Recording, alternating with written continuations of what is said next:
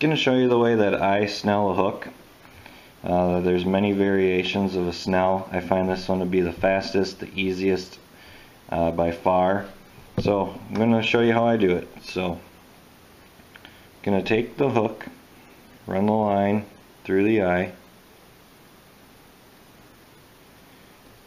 I'm going to pull a little bit extra, probably 3-4 inches past the hook. I'm going to make a loop. See a loop right there.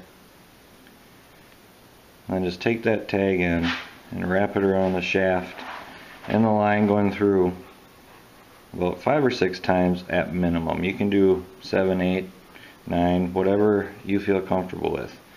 So now you got your loop you made here and your tag end from wrapping around the shaft.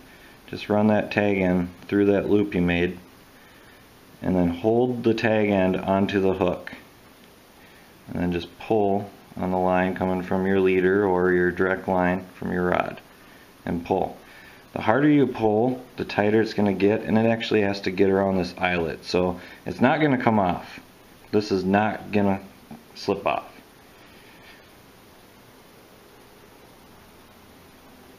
There you have it. Easy way to snell a hook.